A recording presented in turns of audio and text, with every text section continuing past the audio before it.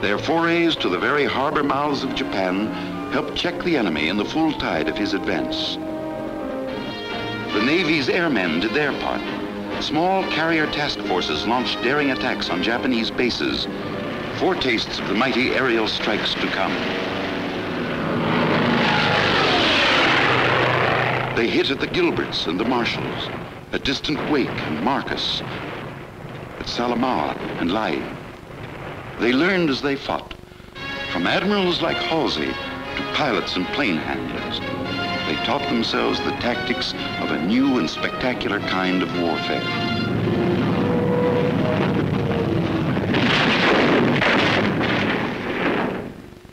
They improvised and invented.